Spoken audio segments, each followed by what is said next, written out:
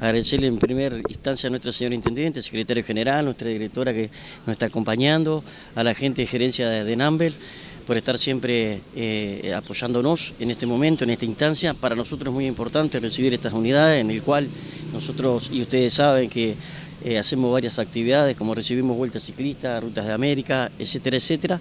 Y bueno, nosotros tenemos que estar en el mejor confort con estas unidades. Bueno, son modelo XR 250 Tornado.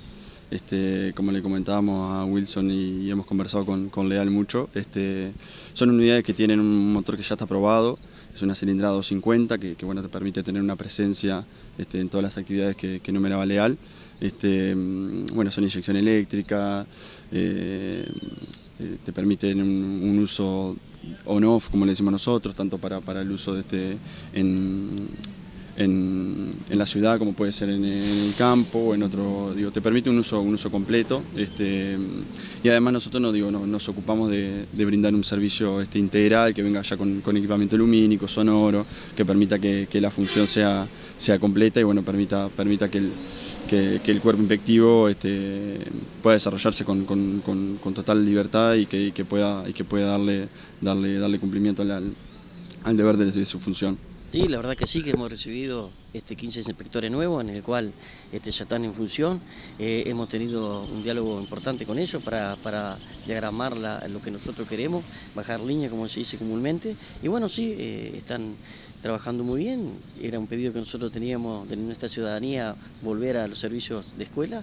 Y bueno, es la primera instancia que nosotros tratamos de hacerles llegar a ellos, a transmitirles eso para ellos, para lograr ese objetivo que, es muy importante para, la seguridad de nuestros niños y nuestros peatones realmente necesitan en la entrada y la salida de las escuelas. Director, este, ¿estas motos son solo para la ciudad o también están para el interior del departamento?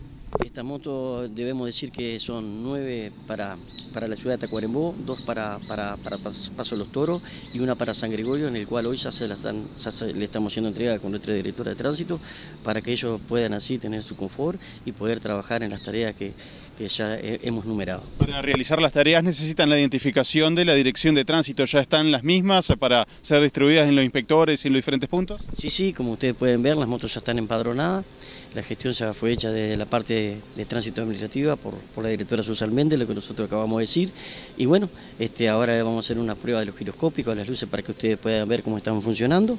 Y la idea es eso, eh, recalcar y agradecer a nuestro Ejecutivo Departamental, porque todo lo que nosotros le, solicitamos, todas las cuestiones pertinentes, ellos nos hacen, nos hacen llegar y hoy para nosotros es una satisfacción recibir que nuestro cuerpo inspectores realmente necesiten estar con, con unidades nuevas, cero kilómetros, para que no tengamos inconvenientes y estar a la altura de todas las necesidades que nuestro pueblo realmente necesita. Este, la compra se hizo en puerto, por lo tanto este, digo, eso lleva, una exoneración que, va por parte del, Ministerio de Economía. Este, el monto de venta fue ronda los 5 mil dólares por unidad. Este, le corrijo a Leal, eh, al público está 7.990 la, la unidad.